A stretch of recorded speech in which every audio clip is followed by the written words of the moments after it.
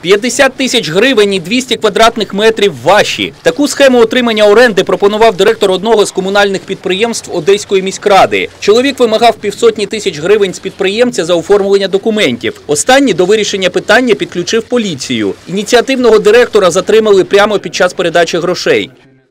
За вимагання та одержання службовою особою неправомірної вигоди чинним законодавством передбачена відповідальність у вигляді позбавлення волі на строк від 5 до 10 років з позбавленням права обіймати або займатися певною діяльністю строком до 3 років з конфіскацією майна. За неофіційними даними деяких одеських ЗМІ, підозрюваний директор комунального підприємства Туристичний інформаційний центр Олексій Курцев.